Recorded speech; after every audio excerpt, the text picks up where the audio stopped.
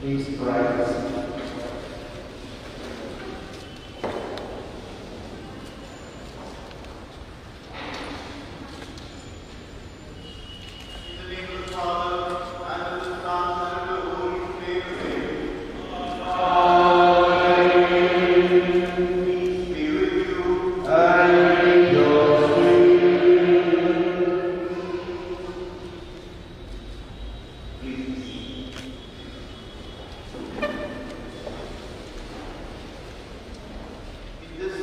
parish people, parish dedicated to the mother